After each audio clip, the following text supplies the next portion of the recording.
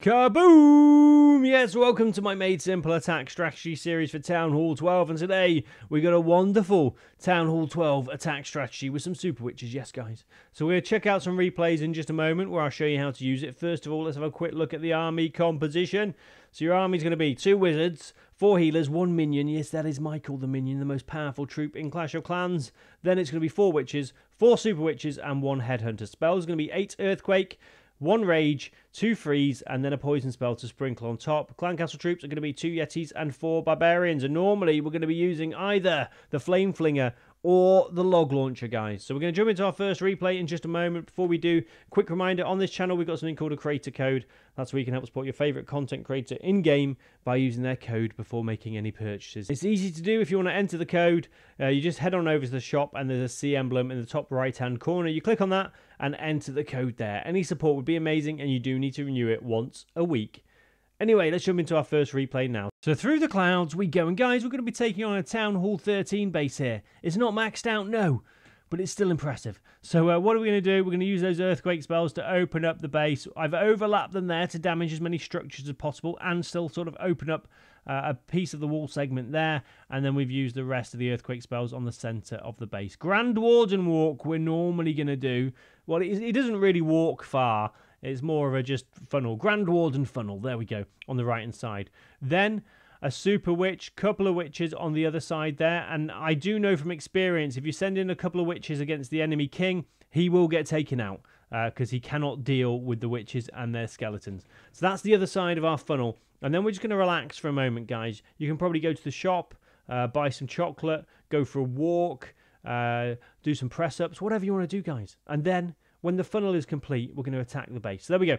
Grand Warden has done a great job. Then we're going to send in the rest of the troops in the center with the log launcher. Look at those big boy troops. The skeletons there are really helping out now. Uh, the super witches Again, are they going to go into the base? Yes, they are. This is pretty good. Our king is being infernoed, though. Am I going to save him with a free spell? Or am I going to forget about him? No, I saved him there.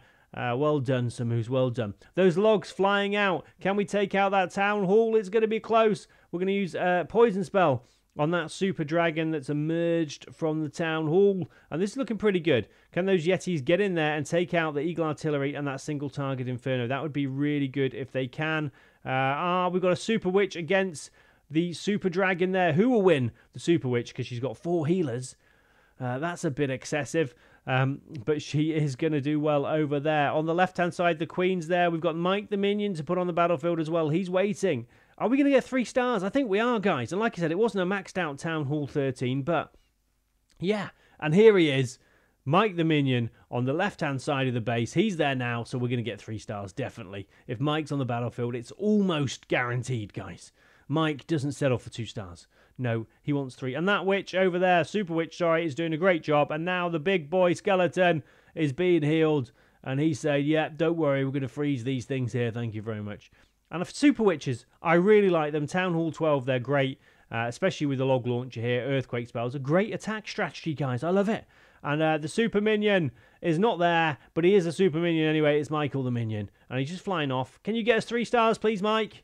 Mike says, yes. No problem, Sir Moose. No problem at all. So there's our first replay. We do have another replay. And guys, do remember to hit that subscribe button once you've finished watching the video. Join the Sir Moose army we've almost got 120,000 subscribers. So guys, on this replay, it is a friendly challenge, but we are taking out a pretty much maxed out Town Hall 13 base, a few wall segments, some traps, uh, but yeah, a pretty impressive base. Can we take it out?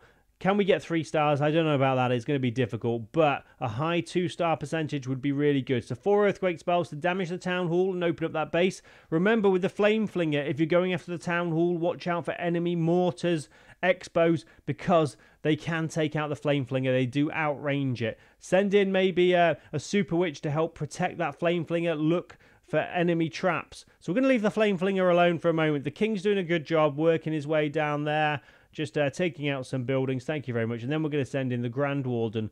It's funnel time again, guys. It's funnel time. We've got those healers for him in a moment. Can the king, can he take out the scatter shot? No, he cannot. Queen on the right hand side, that's one other side of our funnel.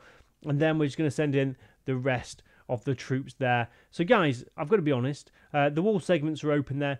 you know, we're just going for a high percentage attack here if we can get it because we've used the earthquake spells to open up the center of the base. I'm trying to get those troops into there. Now we're using a rage spell. Look at those big boy skeletons. They're doing a great job. And the healers are looking after them.